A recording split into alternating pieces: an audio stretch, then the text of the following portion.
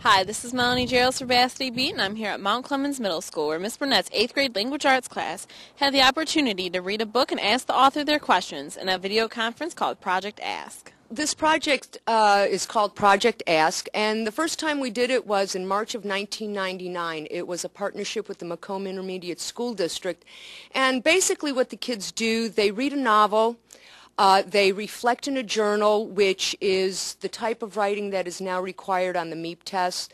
They create questions um, that do not have a yes or no answer.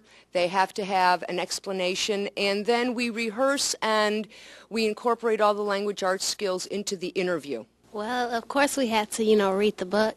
And like every day we'd write down a journal from what we read that, you know, you know, just like told us like like showed Ms. Burnett, of course, how we felt about what we read. When you read a book for a program like this, you have to pay attention to the book.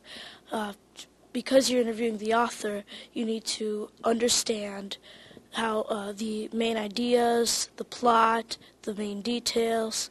You need to sound like an expert on the book. It puts the kids in a position where they have to read the book in a completely different light. They are going to be interviewing either the person who wrote the book or someone who is a specialist on the topic that they're reading about.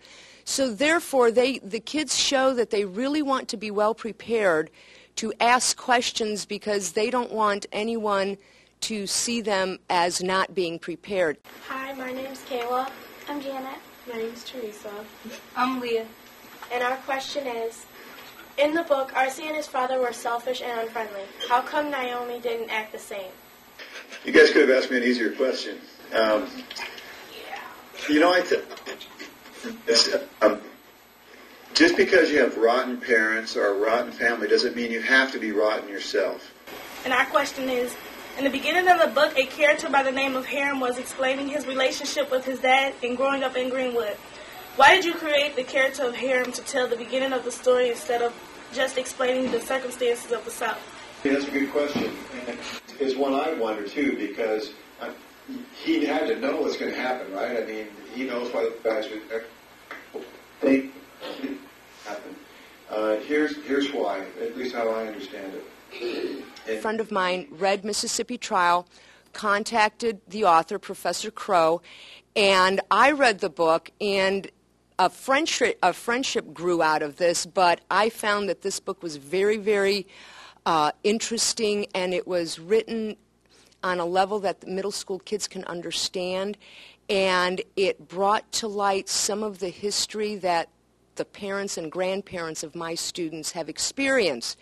Um, and it just opened their eyes to what life was like in the South during the 30s and the 40s and 50s and how much still needs to change. I like doing this better than a regular book report because we actually get to uh, ask the author what questions we have after we're done reading the book. It only took us a little a little while to figure out a question because we had a lot of questions, and we we just did process of elimination. The question that I wanted to ask was mainly about the character Naomi in the story. Because she had such a minor role, what was the point on putting her in the story? But unfortunately, I didn't get to ask that question because someone else from the other school basically asked my point of view of the question. It's a pretty smart question, you know, because I never noticed that myself. And um, it and I think it was unconscious, you know, something maybe floating in my brain that I hadn't really thought of but like because RC has some qualities that, that my dad has, and um, um, you know, it's a family connection. I mean, the book's dedicated to my dad, all those kinds of things. Yeah, some of the relationships are based on my own life experiences. He knew characters from his real life. That's why he put certain characters in there because they were from his life. So that helped me understand it better. And he, I also get to uh, got to see the way he like his view of life from 1955 on the South. Because he was the author, he could he told us like how it how he even made up the story and how he could do all that.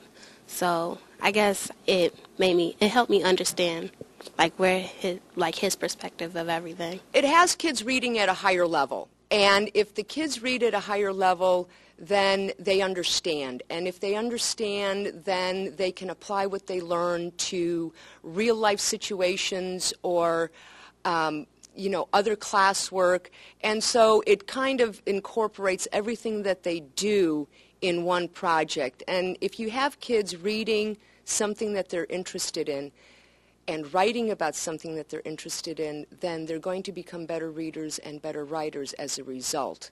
So that impacts their whole educational career. Mount Clemens Middle School has been an important part to Project Ask and will soon be one of a select few schools involved in a national video conference in February.